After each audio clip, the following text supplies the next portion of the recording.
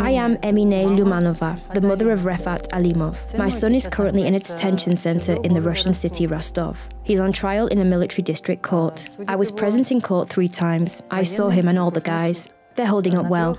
There are six of them. The first four were taken during searches on February 11, 2016.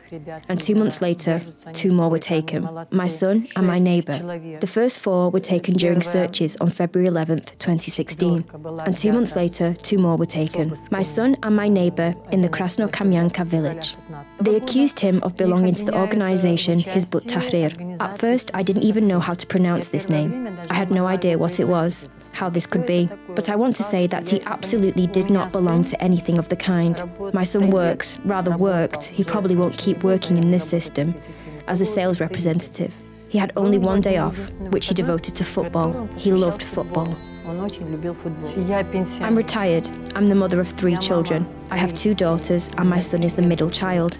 It happened that they took him away, and he didn't even manage to marry. When we see each other in court or on visits, he reassures me, Mom, don't worry, everything will be resolved soon. They'll prove our innocence. One day in court, I had never really listened to the words of the investigating judge. I heard the phrase that they had found items at home that could be used to commit a crime. Absolutely not. They took the case of my son's computer and they took a notebook where he had written prayers. He was studying namaz.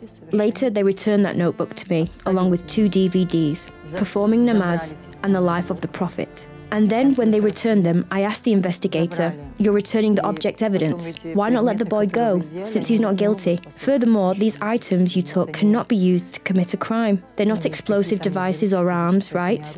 How can they? He's had serious problems with his health ever since 2014, when he had an attack. It turned out that he had kidney stone disease. He had a stone in his ureter. I don't know whether he saw that stone pass, but he had another attack last year in the detention centre. And when he asked again for help, for them to do something, they said, you're faking. Is it really possible to fake such pain and take those painkillers just like that? I don't understand it, and I don't understand the attitude of the detention centre staff toward those who are illegally sentenced, illegally imprisoned under investigation. They have no grounds to hold them there, I believe, because there is no fact of the crime.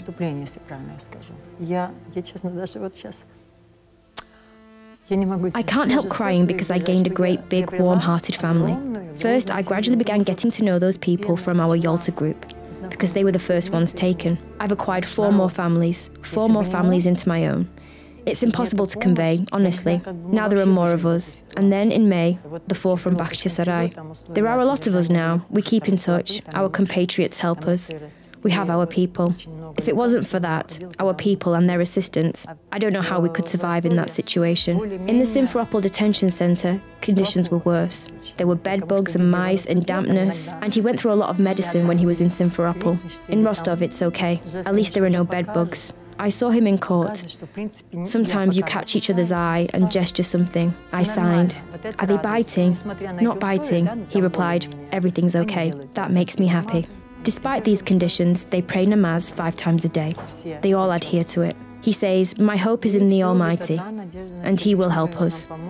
In the near future, we will all get out of here. I've lived in Crimea for 26 years, and in those 26 years, there's never been an act of terrorism here, nor should there be. But for some reason, as soon as the government changed, they immediately began looking for terrorists among Muslims.